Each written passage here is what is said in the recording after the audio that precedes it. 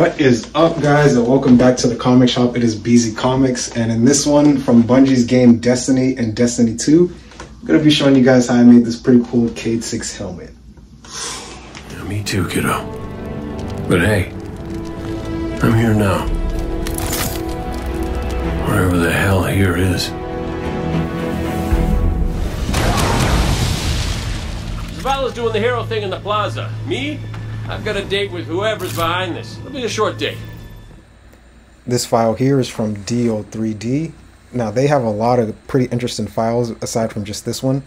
Primarily, if you're looking for anything Marvel, Star Wars, DC, even Iron Man suits or most of the suits that you see people 3D printing, this is going to be the site to get them from. Now, yes, you do see that some of these helmets do charge or they do have a fee for most of their helmets, but they do have a free section for you as well they didn't have this Blue Beetle helmet up there before, but they did add it, so I would definitely say get to it if it's something that you wanted. But I do have a, an affiliate link down below in the description of this video. If you are looking to purchase one of these helmets and you do use my affiliates link, thank you. And my way of thanking you is going to be sending you a 20% discount code. So if one of these helmets are something that you want to make, again, just DM me. I'll send you the 20%. Just make sure you use my code and we'll all be happy. And I know this looks like one good solid print. Looks like you could just go ahead and spray paint it and go from there. But there were a couple different cuts that I had to make to the file to actually get to this point. I have to add some LED eyes and the helmet is a little bit baggy. So I'm gonna have to show you guys how to fix that as well. Besides that, enough of me talking. Let's get into how I sliced this file to get exactly to this point.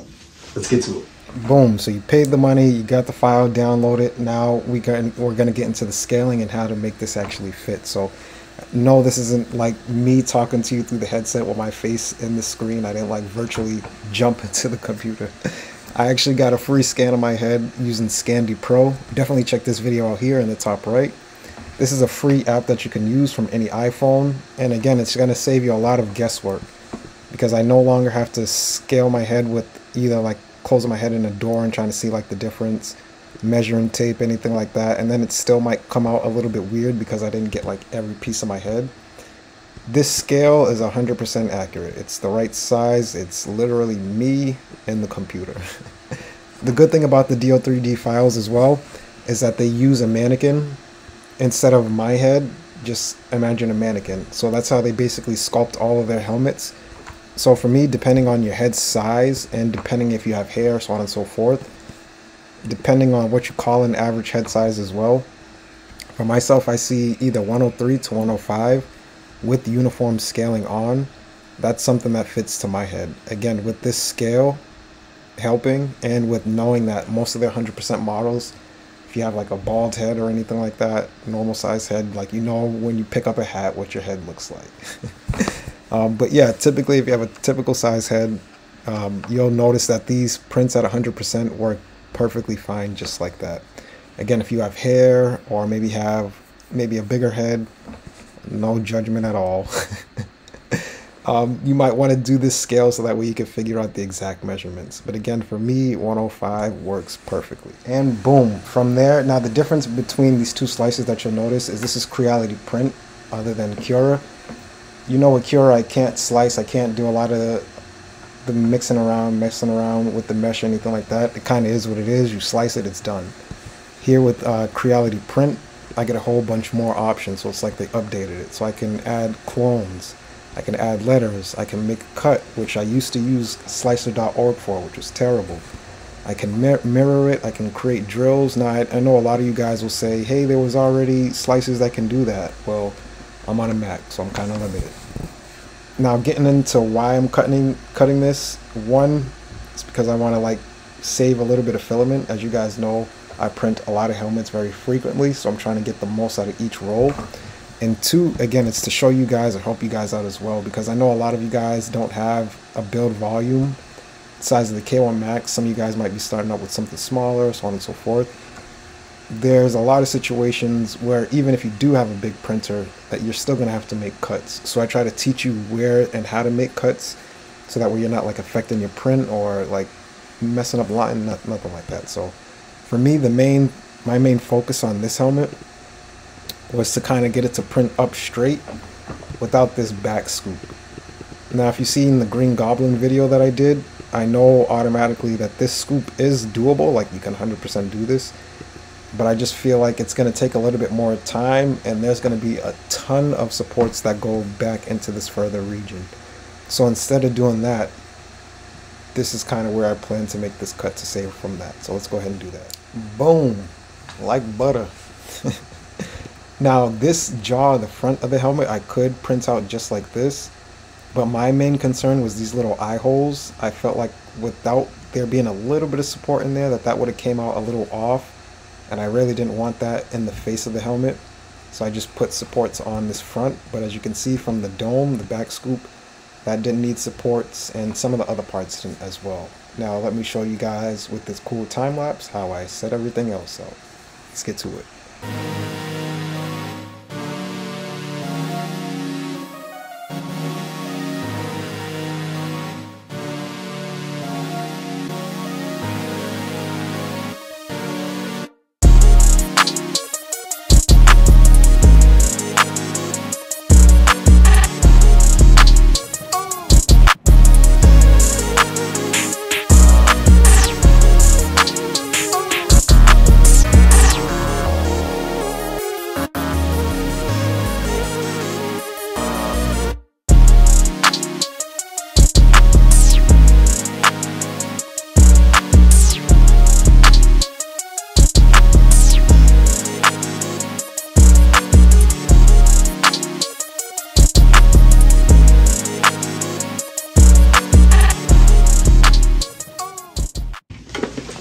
So now we got to the first tough question is how do you scale helmets to make them actually fit?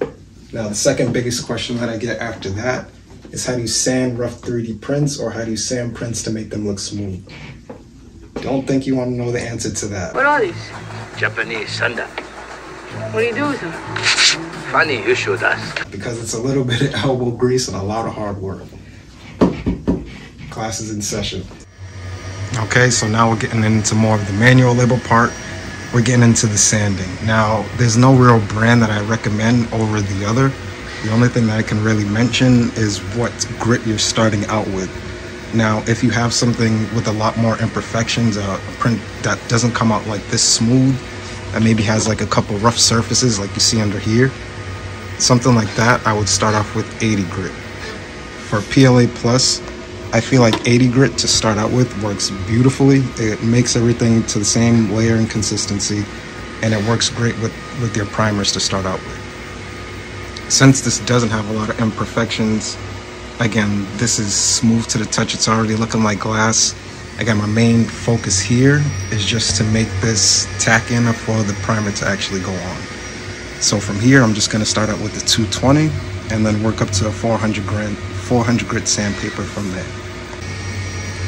And just a quick tip for sanding, what I say, one of the two best, two of the best methods that I would either say is to either go against the grain. So as you can see, the print lines, they're going left to right along the whole print. So I would go up and down just to create a different contrast, just to make sure that you're getting all those grooves. Now again, with the sanding block, that makes it a lot better because as you're doing that, you're getting an even surface because as you see, this is a big surface opposed to just like your hand. Besides that, young Daniel-san, small circles. Left the circle, right the circle. Right the circle. Left the circle. Wait, wouldn't it be easier going back and forth? Aye, aye, aye, aye, but you go circle.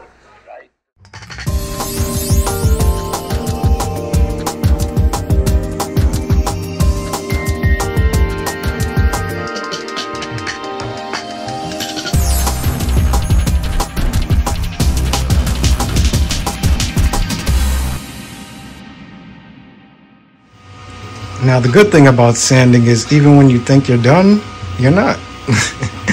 but now basically from here, as you can see the small little particles that dust up or acquire up from sanding, basically you want to wash and clean this off so that way you don't have any of that and then start priming from there. So usually what I do is I'll just go through the first go of sanding, clean it all off, and then let the primer reveal everything that's going to show from there.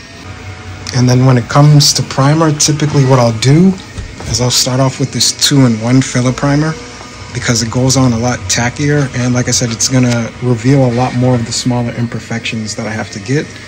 And I feel like when I sand with that the smaller particles that come off from this primer really get into the smaller nicks and really just like finish and coat everything perfectly.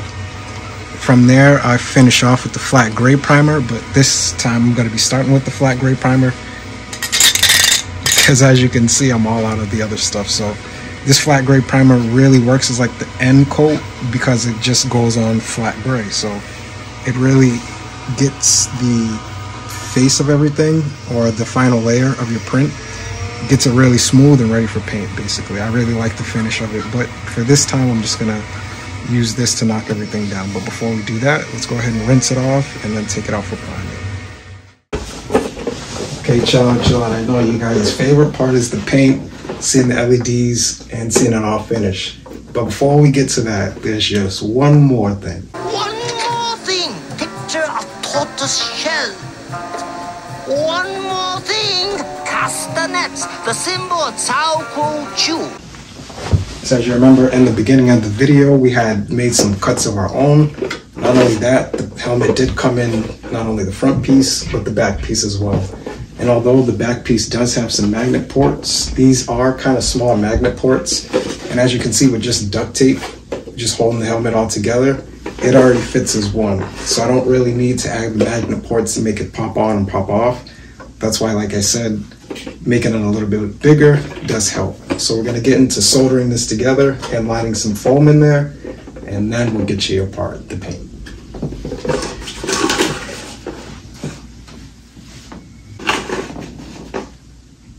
Wrong hero.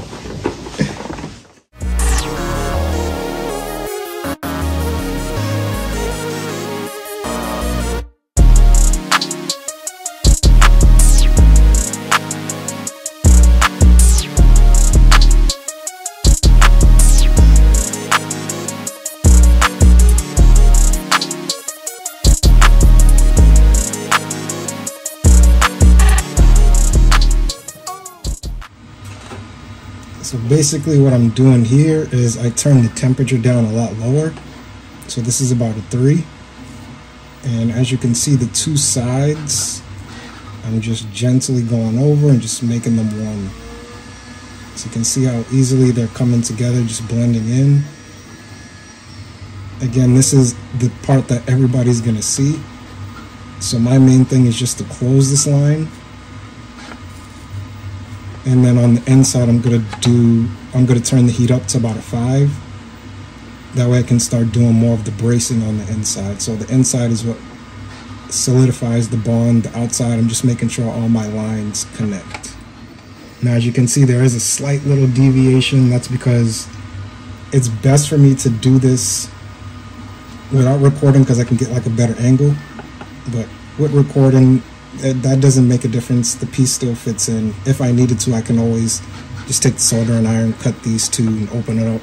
You never know the difference, but that's another tip that um, soldering is good for to realign things and cut things and weld things and just being creative.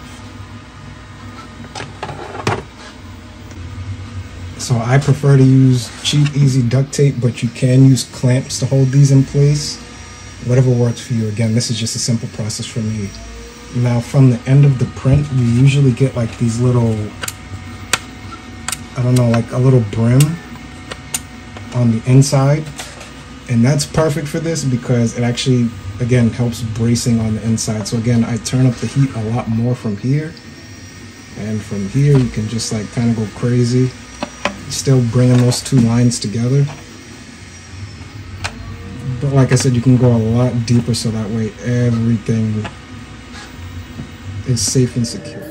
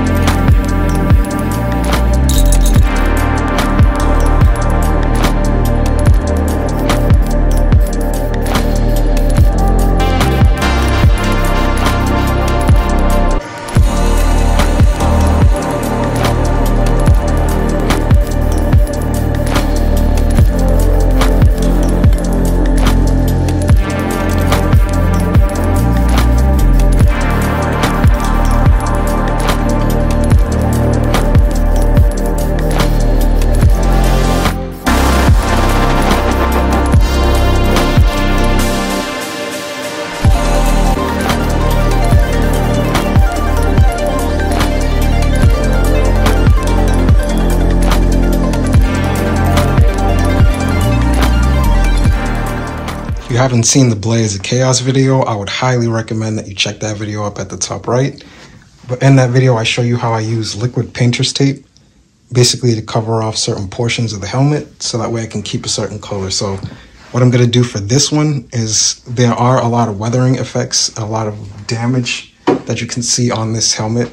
Check this reference image out here. It's basically the reference reference image that I'm using. And what I'm going to do is I'm going to paint this silver as the base coat. And then I'm going to use some liquid painter's tape on certain parts of the helmet that I want to stay the silver. And then I'm going to come over with the final coats of color and then peel that off. It's a very satisfying process. Let's get to it. Okay, I probably know what you're saying. None of that really stuck and you can't see any of the silver. I should have basically just used blue painter's tape and just like use it as the strips. There are different millimeter sizes that you can get that painter's tape. So I should have just used some of it and just made like pinstripes and just went off like that. But I've just been wanting to add new strategies that I can show you guys to implement into your into your process. So it's still a good part to watch, but as you can see, I didn't stick with it just because I didn't really like the way that it looked at the end. Back to the video.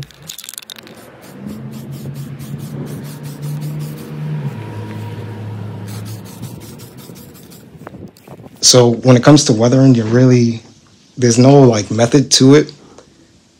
It's just, you want to create like a natural effect. So nature is random. So there's no like straight lines that I'm trying to achieve. There's no like certain point where I'm trying to get and certain point where I'm trying to miss. I want it to look more like a natural effect, like it's damaged, like it's been through something.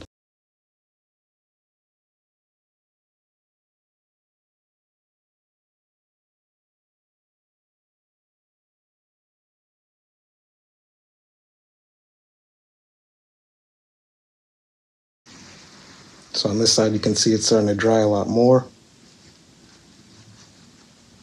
So like I said, if I feel like I need to go a little bit more than that, then I will. But as you can see, this is already kind of like, just with those, the way those little patches are looking in it, you can already tell like it's going to tell a different story. It gives another level to the mask.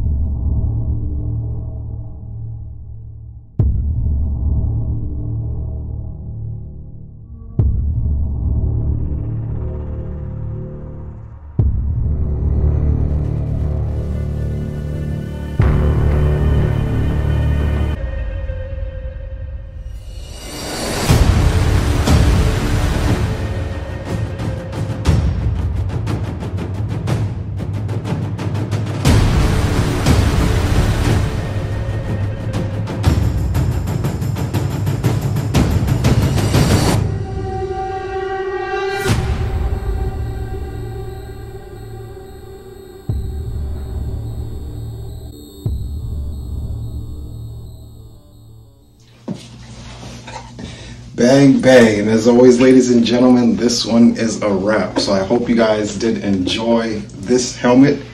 As you can see, a lot of my helmets now have been moving away from like the DC and kind of comic book hero.